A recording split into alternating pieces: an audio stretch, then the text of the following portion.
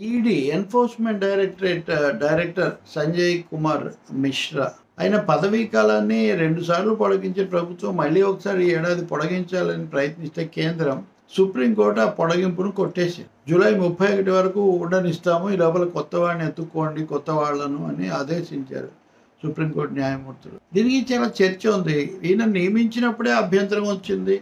కోరి కోరి రెవెన్యూ శాఖ నుంచి ఇక్కడికి బయలుదేరి ఇక్కడికి ఐఆర్ఎస్ అధికారిని నియమించారని అప్పుడే వెల్లడైంది. మూడోది ఆయన పదవీ కాలం ముగిసిపోతుండగా ఎవరికైనా కనీసం ఇంత పదవీ కాలం ఉన్న వాళ్ళనే నియమించాలని తెలిస్తే తెలిసి కోర్టు చెప్తున్నా కానీ అంత లేని ఆయన్ని తీసుకొని ఎక్స్టెండ్ చేయటం ఇదంతా ఎందుకు అని సుప్రీంకోర్టు వాటిని కొట్టేసింది. కొట్టేసిన తర్వాత ఇది నిజంగా ప్రభుత్వానికి ఒక చెంపదెబ్బ కదా. ఈడీ అనే దాన్ని ప్రతిపక్షాల మీద బీజేపీ వ్యతిరేక పార్టీలు ప్రభుత్వాల మీద ఆయుధంగా ఉపయోగిస్తున్నారని వచ్చినప్పుడు అలాంటి ఈడీకి సిబిఐ కూడా ఎక్స్టెన్షన్ల మీద అధికారులను పెట్టడం ఎంత దురుద్దేశపూరితం? దాన్ని ఇప్పుడు అత్యున్నత న్యాయస్థానం కొట్టేసింది. అయితే అదే సమయంలో సెంట్రల్ విజిలెన్స్ కమిషన్కు అలాగే ఇతర ఈ దర్యాప్తు సంస్థలు వీటికి సంబంధించిన బాధ్యులను లేదా డైరెక్టర్లను వాళ్ళ పదవీ కాలం వాళ్ళకి ఐదేళ్ళ పదవీ కాలం ఇచ్చే విధంగా కేంద్రం లేకపోతే ప్రభుత్వం ఇటీవల పార్లమెంట్లో ఒక బిల్లు ఆమోదింప చేసుకుంది. దానికి చాలామంది మద్దతు తెలిపారు. సో ఆ బిల్లు ఆమోదం పొందింది. ఆ బిల్లు పొడగింపును సవాల్ చేశారు. కానీ దాన్ని మటుకు సుప్రీంకోర్టు ఆమోదించి అంటే ఈసారికి సంజయ్ కుమార్ మిశ్రా దిగిపోతారు జూలై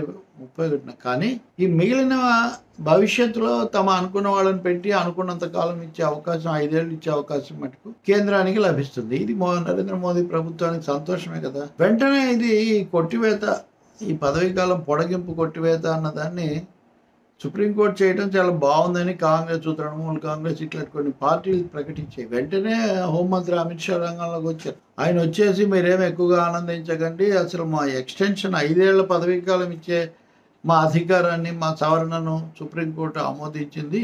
కాబట్టి మేము మీ భర్త పడతాం అన్నట్టుగా ఆయన ఒక ప్రకటన చేశారు. ఎవరి పదవిలో ఉన్నా సరే వాళ్ళు తప్పకుండా దీన్ని చేస్తారు. తప్పులు వీటన్నిటిని కూడా పట్టుకుంటారు అని. అంటే దీనివల్ల ఏమన్నా కొంచెం తమకు ఎదురు దెబ్బ తగిలిందనే అభిప్రాయం వస్తుందేమో అని దాన్ని వెంటనే సరిచేయడం కోసము అదే సమయంలో మా దాడి ఇదే స్థాయిలో కొనసాగుతుంది అనే ఒక బెదిరింపు కూడా చేసే విధంగా ఆయన డైనాస్టీస్ అని కూడా కాంగ్రెస్ను అనడానికి వంశ పారంపర్యం అని ఎప్పుడు చెప్తుంటారు కదా. అది కాకుండా చాలా పార్టీలు ఇవన్నీ కుటుంబ పార్టీలు అనేది బీజేపీ స్లోగన్ లాగా కూడా ఉంది కదా.